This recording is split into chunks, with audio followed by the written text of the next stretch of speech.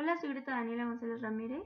y para esta actividad he decidido realizar una video reflexión porque creo que es mejor que te miren cuando vas a expresar algo que sientes o que crees de acuerdo a un acontecimiento. Bueno, yo voy a hablar del libro Cartas a un joven ingeniero escrito por Javier Jiménez Espriu y bueno, principalmente se trata de los escritos que este señor le hace a su hija Verónica, que es, fue una mujer que decidió estudiar una ingeniería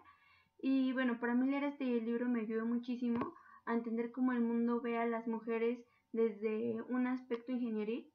y pues desarrollándose, claro, en una vida profesional, pero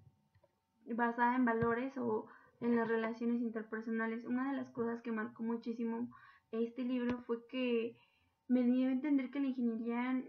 relación entre matemáticas, ciencias, física o química y tu persona, sino que tiene que ser una relación abierta entre todas estas áreas y pues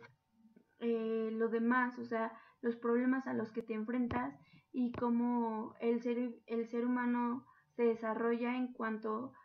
a pues a, su alrededor, a la cultura, a la música, el altruismo, o sea, yo creo que no todo significa enfocarte en una sola área, sino en todo lo demás porque es con lo que te desarrollas y creo que eso te hace una persona muy equilibrada.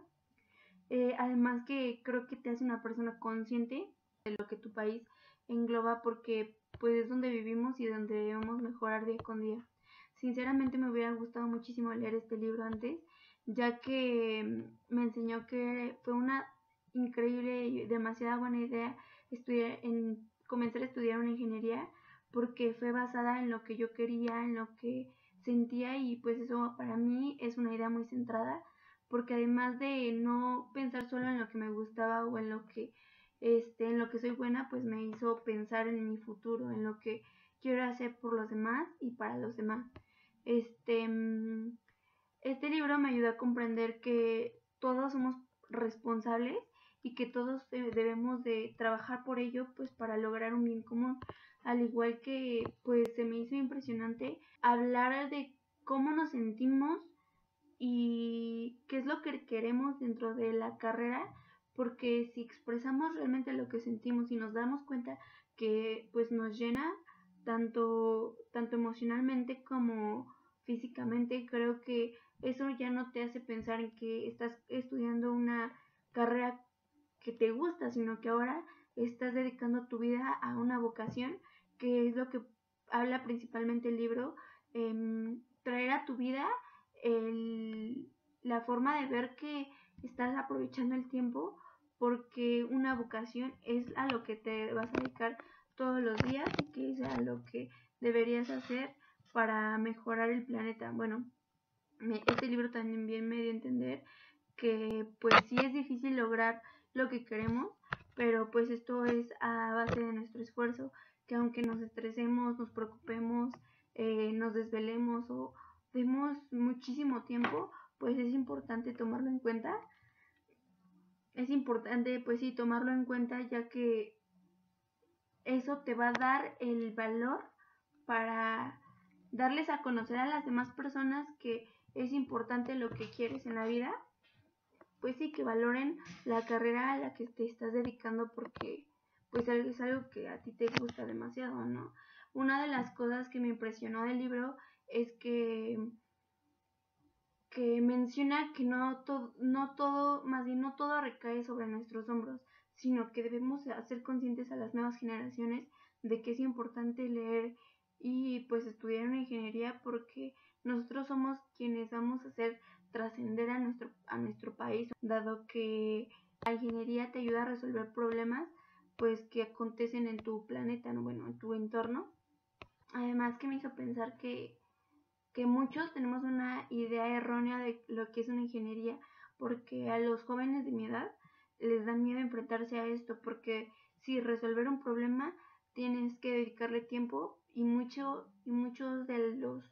de los que entramos a estudiar una ingeniería y que a lo mejor pues se salen es porque les da miedo enfrentarse a estos grandes retos y que no nos debería dar ningún miedo porque pues en realidad eso es lo que nos hace falta, ¿no? este, sinceramente creo que mm, me ayuda muchísimo, muchísimo a comprender que quiero que mi generación crezca y quiero que mi, mi país crezca para convertir a México en un mejor país, no como patriotismo, sino como em, el desarrollador de una nueva era, de querer ser mejor para ti como persona, como profesionista y pues qué mejor si encontrando tu vocación, ¿no? Estoy convencida que leer estas cartas este me hizo que pensar que no solamente tener la responsabilidad recae en hombres o en mujeres, sino que debemos de unirnos todos como un solo género, dar a conocer que creemos en la vida desarrollada una nueva tecnología, en la elaboración de nuevas herramientas y por supuesto pues en la creación de una nueva época en la que todos estemos incluidos, principalmente viendo por el bien eh, común y el bien de todos, sin solamente creer que somos millennials dedicados a, a poner videos en YouTube para ganar dinero fácil y que pues la vida se nos vaya así, ¿no? Sino que de, realmente entendamos que el logro de nuestras cosas es por por el esfuerzo que hemos puesto en, la vocación, en el libro y como lo menciona Javier, eh, pues ser conscientes y dedicar el tiempo necesario para entonces creernos que podemos cambiar y hacer algo bueno por nuestro país. Em, mi conclusión es esa, creo que somos capaces de hacer más y no solamente por ser ingenieros, sino por creer que, nos, que en lo que nos dedicamos es bueno y poderlo llamar vocación, porque una vocación hace que los demás crezcan, no solamente tú, sino pues sí ver por el beneficio de, de todos los demás y esto atraerá pues el beneficio propio. Yo creo que cuando, cuando crees en ti, todo, todo lo podemos lograr. Eso es todo. Muchas gracias.